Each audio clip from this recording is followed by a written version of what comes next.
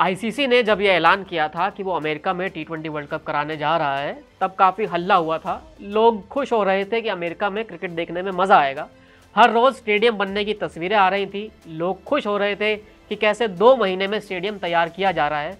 लेकिन अब जब वर्ल्ड कप शुरू हो गया है, तब हर किसी ने अपना माथा पकड़ना शुरू कर दिया है। क्योंकि अभी तक ये वर्ल्ड कप इतना फिसड्डी साबित हो रहा है, जितना किसी ने सोचा नहीं था। अब सवाल है कि आईसीसी आखिर कैसे इतनी बड़ी भूल और ब्लंडर कर गया। टीम इंडिया और आयरलैंड के बीच हुआ मैच तो आपने देखा ही होगा। शुरुआत के आधे घंटे में ही साफ़ हो गया था कि ये एक बोरिंग मैच होने वाला है, क्योंकि टीम इंडिया के बॉलर्स ने बॉलिंग ही ऐसी की थी। आयरलैंड के विकेट तो पत्तों की तरह गिर रहे थे, लेकिन इसकी उम्मीद तो लोगों को थी, पर एक उम्मीद नहीं थी जो पूरे वर्ल्ड कप में अभी तक देखने को मिली है। टी ट्वेंटी वर्ल्ड कप 2024 में अभी तक करीब 10 मैच हो गए हैं और इनमें से एक ही मैच ऐसा रहा है जहाँ स्कोर 200 के करीब तक पहुँचा हो।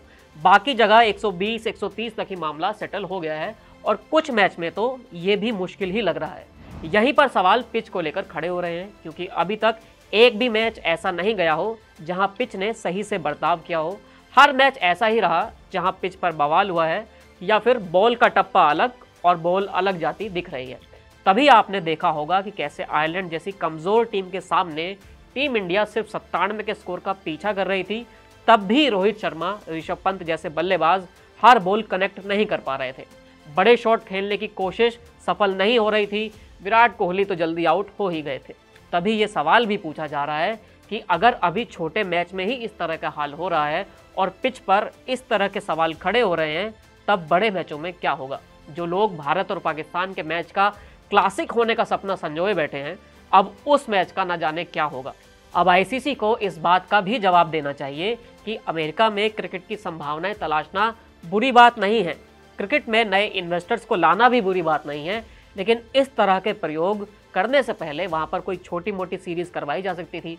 अगर सीधा ही वर्ल्ड कप कराया जाएगा तो बुरा हाल तो होना ही था, क्योंकि हर किसी को मालूम है कि अमेरिका में बने सभी स्टेडियम पिछले तीन महीने में तैयार किए गए हैं। सारी पिच ड्रॉप इन की गई हैं और इस बीच ऐसे मुकाबले हो रहे हैं और ये कहना सही है कि आईसीसी ने पैसों के लिए वर्ल्ड कप का बेड़ा गरक कर दिया है।